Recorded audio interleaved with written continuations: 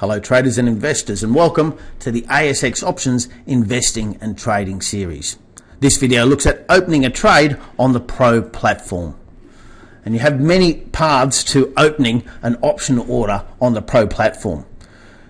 Let's take as a hypothetical example a trader who wants to benefit if Telstra share price continues to, to decline, or perhaps a, an investor who's concerned about the short-term outlook for Telstra and wants to protect against downside in the Telstra share price.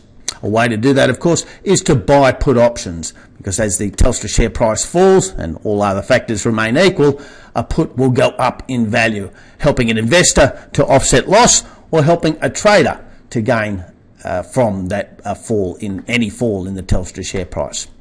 Wherever we see Telstra and these three bars, we can access the options finder, whether it's in the chart, in a watch list, or if a Telstra is not up on your screen, you can always use the quick search bar.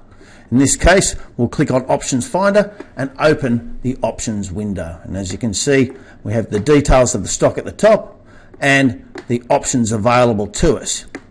The platform defaults to the nearest month expiry, but in this case, let's assume the investor or trader is looking for a longer dated expiry, and so we change to the April expiry. We've um, limited it to five strikes either side of the current share price, but uh, investors or traders who'd like to see more strikes can select there. But as I'm looking at fairly near-term uh, buying, I'm going to select the $2.90 put. And as always, on the left-hand side in blue, we have the calls. On the right-hand side, we have puts. We'll select our strategy by using the drop-down strategy tab and selecting long put. That is buying a put option. And when we do so, we see that the uh, uh, squares next to the buy side of the options uh, put options price is the only one available to us. So we go along from our strike price at $2.90 and select the buy tab. And when we've done that, we can hit trade strategy to bring up the ticket. On the ticket, we first of all check the quantity.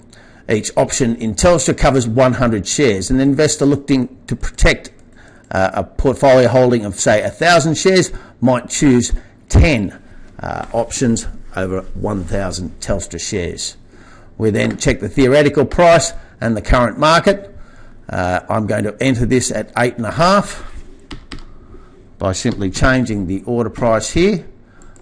And when I do so, I then check my parameters again. I'm looking at buying 10 of the April puts at, uh, with a strike price of $2.90 at 8.5 cents. When I'm happy with all the parameters, I simply place the order by pressing the place order button. And immediately I get an order confirmation that my order has gone into market.